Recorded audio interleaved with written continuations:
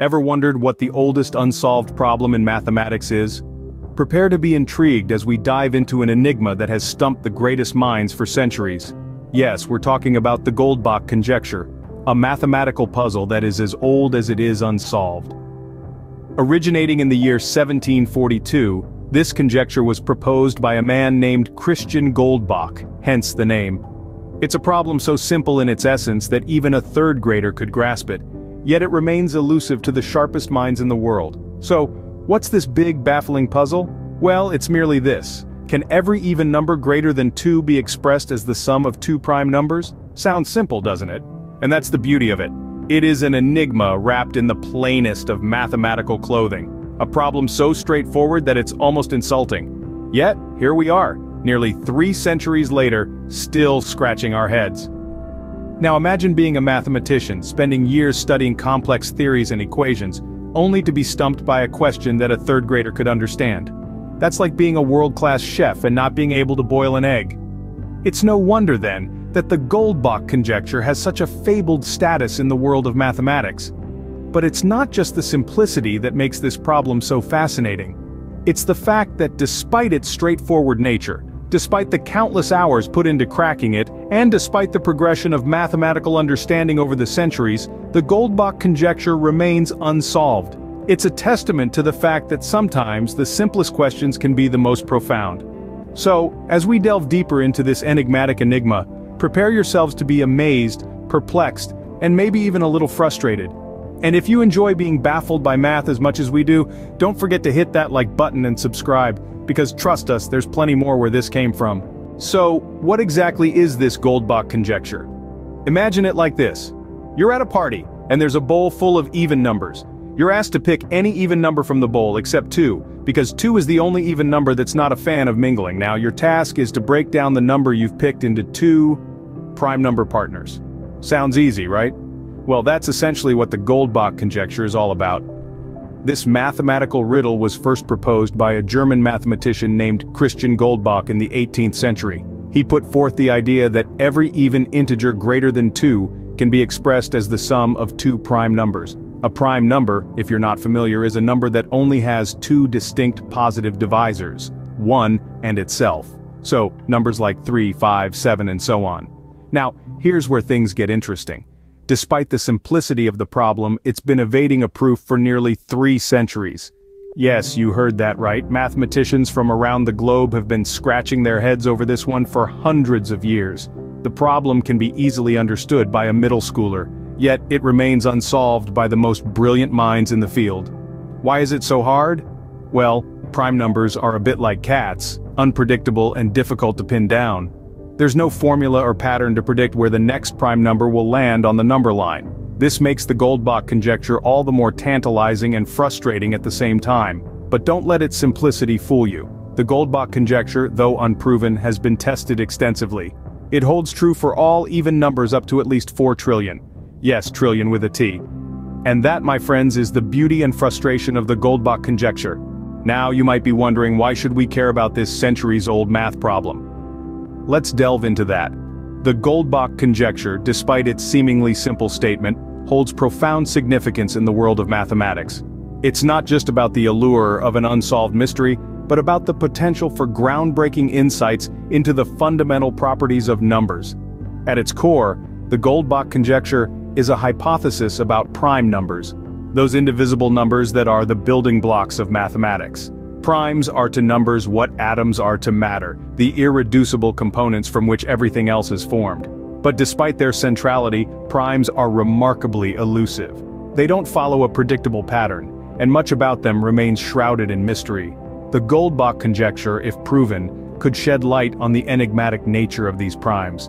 It might reveal hidden patterns, and help us understand the intrinsic properties of these mathematical atoms. The conjecture could be a Rosetta Stone, a key to deciphering the cryptic language of primes. Moreover the conjecture is a cornerstone of number theory, a branch of mathematics that deals with properties and relationships of numbers. A solution to the Goldbach conjecture could revolutionize this field, opening up new avenues of research and potentially leading to breakthroughs in other areas of mathematics. But the implications extend beyond mathematics. Prime numbers play a crucial role in modern technology, especially in the realm of cryptography, which is the art of secure communication. If we can gain a deeper understanding of primes through the Goldbach conjecture, it could have a ripple effect, enhancing the security of our digital world. So you see the Goldbach conjecture is not just an ancient puzzle waiting to be solved. It's a tantalizing prospect with the potential to reshape our understanding of numbers, technology, and even the universe itself. The Goldbach conjecture isn't just a math problem it's a key to unlocking deeper understanding of the universe. Over the centuries many have tried and failed to prove the Goldbach conjecture. Let's dive into some of these attempts. Our journey begins in the 18th century with the Swiss mathematician Leonhard Euler. Euler, the Mozart of mathematics, dedicated himself to the conjecture and while he couldn't provide a general proof, he did manage to prove it for the smaller numbers. His work laid the foundation for future mathematicians to build upon. Fast forward to the 20th century, we have the Russian mathematician Ivan Vinogradov. He took a huge leap by proving that the conjecture is true for all sufficiently large numbers. The irony? He couldn't specify what sufficiently large meant. It's like saying, I can touch the sky but only if I'm high enough. Then came along computers, changing the game completely. In the late 20th century, mathematicians started using computers to verify the conjecture for large numbers. The first of these was a duo, Thomas Oliveira e Silva and Silvio Pardi, who used a supercomputer to check all even numbers up to 4 trillion. In the 21st century, the Peruvian mathematician Harold Helfgott made significant progress. He proved the conjecture for all odd numbers greater than 5, and all even numbers greater than a certain threshold.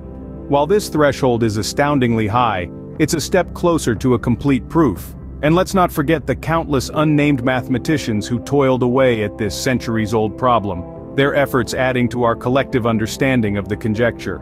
It's worth noting that all these attempts while not providing a complete proof, have brought us closer to the truth. Each failure has been a stepping stone, each attempt a beacon of light illuminating the path forward. So, where do we stand today? Well, despite the leaps and bounds in mathematical thought and the advent of powerful computational tools, the Goldbach conjecture remains elusive. It's like a siren song, calling out to mathematicians, luring them into its intricate web of numbers and patterns, while we've come close, the Goldbach conjecture remains a tantalizing mystery. We've journeyed through centuries of mathematical history today, all centered around one unsolved problem. The Goldbach conjecture, a puzzle that has held mathematicians in its grip since 1742. It's a simple idea, really. Every even number greater than 2 can be expressed as the sum of two prime numbers. Yet despite its simplicity, it has proven to be a tough nut to crack. We've explored the significance of this problem. It's not just about numbers or equations. It's about the core of mathematics itself, about how we understand the universe. It's about the patterns and structures that underlie reality. The Goldbach conjecture touches upon these profound issues, making it one of the most important unsolved problems in mathematics. And oh, the attempts at solving it. From Euler, the great 18th century mathematician, to the modern-day mathematicians with their powerful computers, the conjecture has resisted all attempts at a proof. Yet every failed attempt has brought new insights, new theories, and new directions for mathematical research. The quest for a solution to the Goldbach conjecture is a shining example of how even failure can push the boundaries of knowledge. But the story doesn't end here. The Goldbach conjecture, like many other unsolved problems, is a beacon, a call to adventure for the curious minds. It invites you to explore, to question, to wonder. Who knows? Perhaps you could be the one to finally crack this centuries-old puzzle. The world of mathematics is full of such intriguing mysteries waiting to be solved. The journey we embarked on today is just the beginning. There's so much more to explore, so many more enigmas to unravel. So I encourage you to dive deeper, to keep asking questions, to keep seeking answers, if you found this journey into the world of unsolved math fascinating don't keep it to yourself. Share this video with your friends and let's spread the intrigue of the Goldbach conjecture. Until next time keep wondering and keep exploring.